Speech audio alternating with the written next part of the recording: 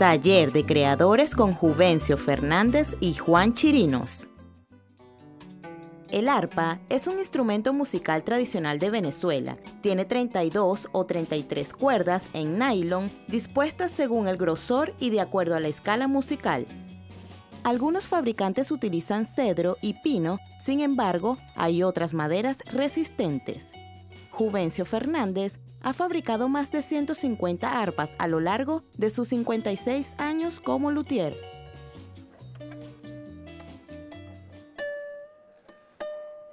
Yo caí en eso por, por casualidad, pero con el tiempo me fui dando cuenta que es un, instrumento muy importante porque ayuda a la identificación de nuestra nacionalidad y nuestro folclore. Me inspiró eh, un amigo que yo tenía, yo trabajaba en el Hospital Vargas y él era ayudante mío, yo era cabero. Entonces un día él me dijo, mire, Tehuencio, tú hablas muy bonito, pero tú no haces un arpa. Y yo pienso que eso fue eh, mandado por Dios, porque a los días de él me dicho esto, bueno, yo le dije a él, mira, yo soy de la tierra donde hacen los cuatro. No tengo idea cómo te hacen cuatro, menos un arpa que es más difícil.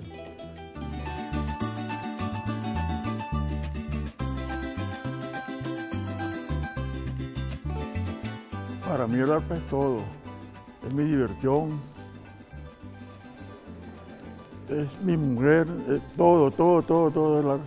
El arpa es un instrumento de mucha importancia porque nos identifica con nuestros sentimientos, con nuestro folclore y por ello pues nos hemos preocupado sobre todo hoy en día que ha tomado bastante auge este instrumento.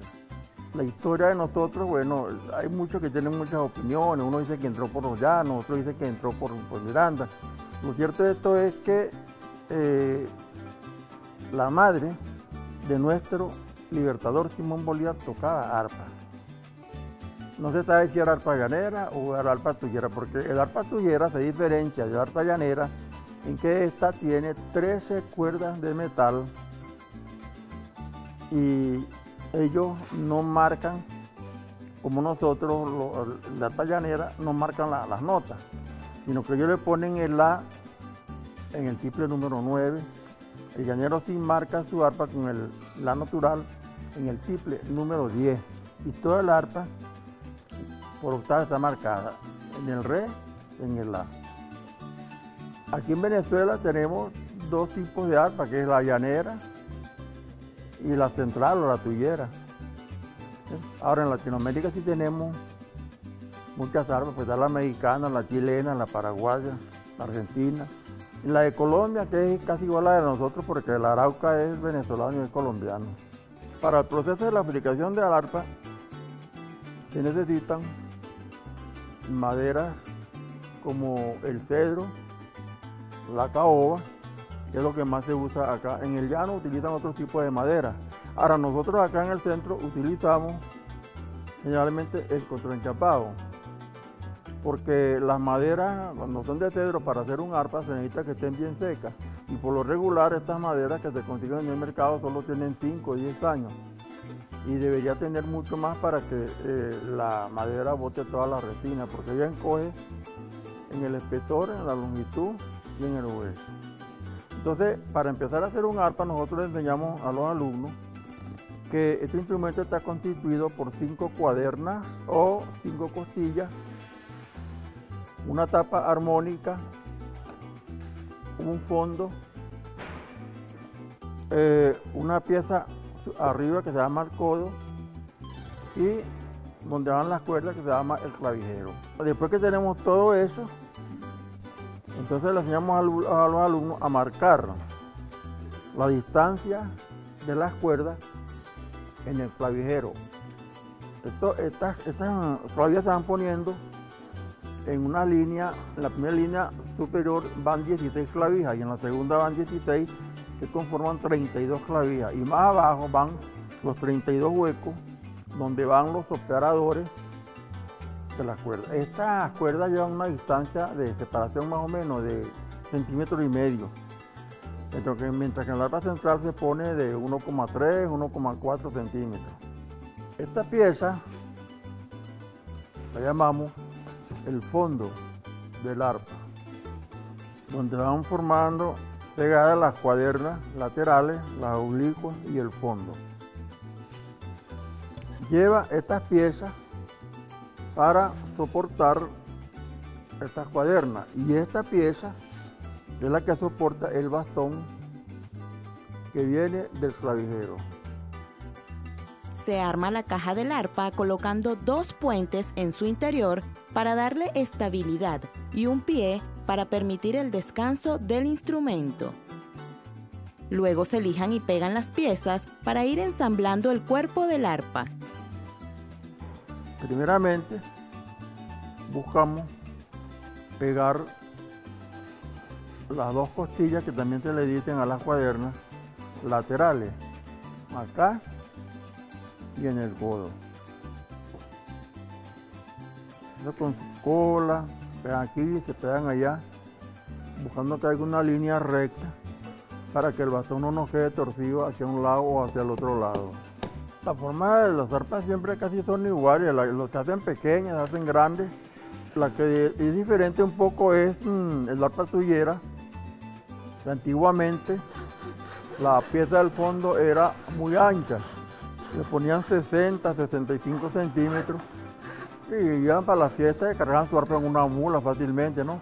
Pero después que fue avanzando el tiempo, vinieron los carros, estas cosas, entonces ellos disminuyeron la medida del fondo y se están haciendo más, más delgadas ahora. Yo le he estado poniendo 42, 45 centímetros. Se fijan todas las costillas laterales con clavos y pega.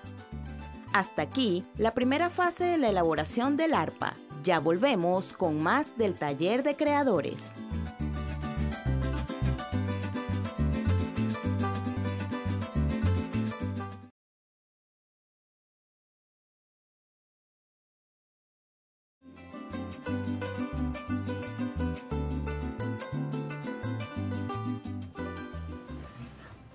Ya esta viene siendo la segunda fase del arpa. Estos orificios es para que el sonido salga, porque cuando se toca el arpa, esto es la tapa armónica. Y, y, esto produce un sonido que va en todo el cuerpo acústico interior del arpa. Entonces ese sonido va brotando por acá. En el arpa llanera generalmente nosotros le ponemos un diámetro a esto de 11 centímetros, 6 centímetros y 3 centímetros en la parte de acá. El arpa de concierto lleva los huecos por la parte de atrás. Hay arpistas que, por lo menos los mexicanos, no le ponen hueco a la tapa, sino que abren un hueco en la costilla lateral y los paraguayos le abren un hueco en el fondo. Se manejan lijas de 80, 220, 320 y 400. Esta última se utiliza con agua cuando la pieza tiene sellador para lograr una textura suave y agradable. Se perfila el clavijero en la escorfina, instrumento con el que se elimina rápidamente la madera sobrante. Luego de esto, la lijamos bien, la pintamos, abrimos el respectivo huequito para donde encaja, en esta fosa va incrustado el bastón del arpa. Y esto es el clavijero que nosotros buscamos conformarlo y meterlo, introducirlo acá. Y entonces, bueno, aquí va el...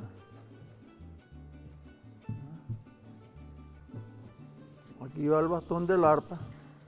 Luego que logramos todas estas cosas, que tenemos todas estas piezas ligadas y eso, empezamos a pintarla. Después que está seco la pintura, entonces empezamos a barnizarla con su sellador, con su malaca. Las clavijas son, se han utilizado en el arpa muy diversas, porque aquí los venezolanos en el campo se han hecho clavijas de aluminio, clavijas de cobre, que los campesinos conseguían por allá botado la, pedazo de cable esa de alta tensión, que es, grueso, y hacían clavijas de eso. También las hacen de madera y de hueso. La, de hueso no usa mucho porque el, hueso La clavija huesa cuando uno la mete en el orificio se adhiere demasiado. ¿eh? Entonces a veces que para afinar el arpa la clavija se parte, se revienta. Entonces se utiliza generalmente esta, pero ahora se utiliza más esta, que es la, es la que vende el comercio, que es más fácil con sus tornillos y sus tuercas. Nosotros empezamos por colocar las primas, que es un nylon que tiene un diámetro más o menos de 0,60 milímetros de espesor. Son un promedio de 10 cuerdas. Luego em, empezamos a colocar con su respectiva marca la cuerda que llamamos segunda, que tiene un diámetro más o menos de 0,70 milímetros de espesor. Después eh, ponemos las cuartas, que son un poquito más gruesas que esta, que viene siendo como 100 milímetros el, diámetro. Y así sucesivamente hasta que te llega al bordón, que son 2 milímetros de espesor la circunferencia que tiene esto, 2 milímetros de espesor.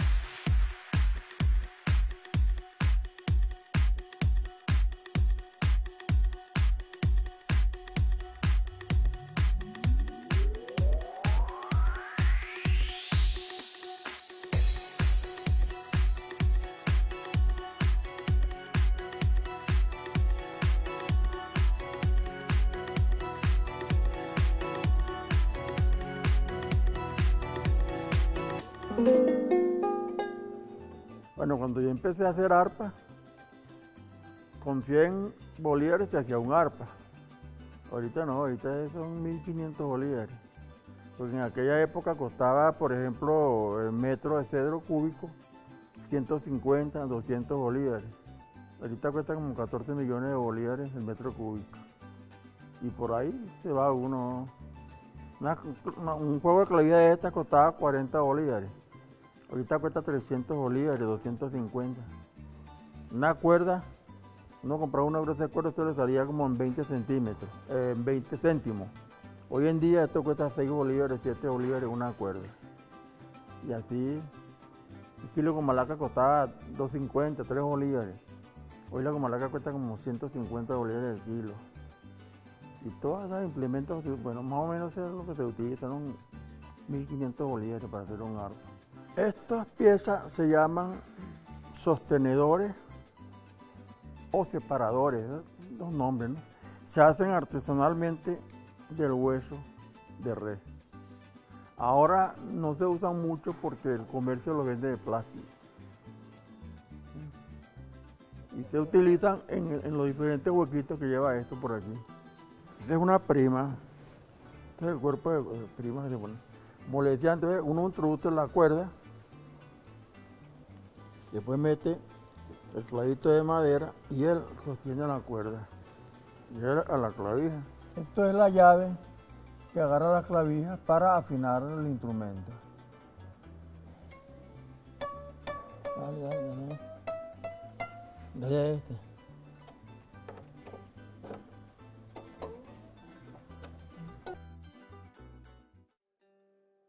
Así la va llevando uno hasta que ella llega al tono que le corresponde a cada cuerda. Bueno, esto generalmente se afina con un aparatico electrónico que se llama afinador, lo vende el comercio. Hay afinadores para guitarra, para arte. Al regreso, veremos cómo se afina este instrumento musical.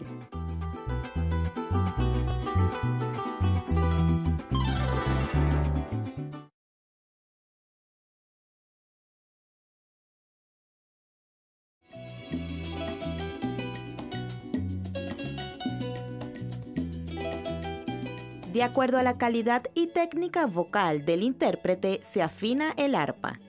Juan Chirinos tiene 25 años como arpista y nos explica su método de afinación. Eh, nosotros acá ponemos esta liga. Esta es para sostener este micrófono para hacer uso de la afinación del instrumento. De tal manera, nosotros lo, lo colocamos acá también. Este es un afinador electrónico. Acá él nos indica todas las notas musicales, ¿verdad? Nos indica por letra y también nos indica los sostenidos y los bemoles. Entonces para nosotros saber cuándo en realidad el arpa está en la tonalidad exacta. Este es práctico para nosotros, nosotros podemos hacerlo al oído, pero es más práctico y más rápido en este tipo de trabajo. En cuanto a que en la cervecería por la bulla y esas cosas, entonces esto se nos, se nos facilita mejor. Y por general el arpa tiene sus tonalidades naturales, que sería el do mayor, se trabaja en escala, y de acorde a la afinación del tono que nosotros vayamos a afinar, de acorde al intérprete de cualquier página musical, tenemos que afinar el instrumento. en este momento entonces voy a proceder a afinar el arpa en el tono de do natural. Por general nosotros en la parte llanera el tono de do natural nos queda aquí en la primera cuerda, que es lo que explicó el maestro Juvencio de las primas. Entonces ya estamos viendo de primas, los tenoretes y los bordones. Entonces, de acuerdo a la afinación, en octava vamos a ir conociendo la calidad y la perfección del sonido.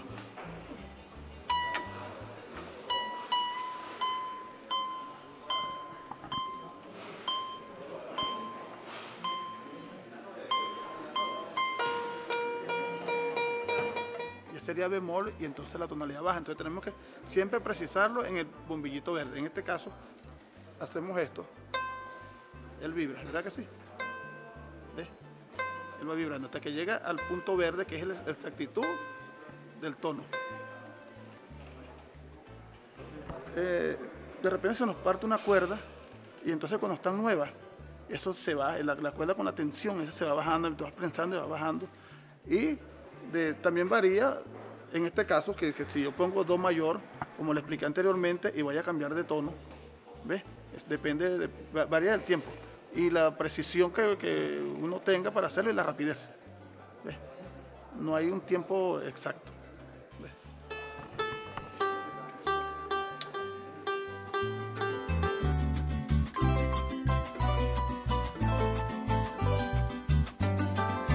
Van a oír el amigo Juan Chirino tocará una pieza.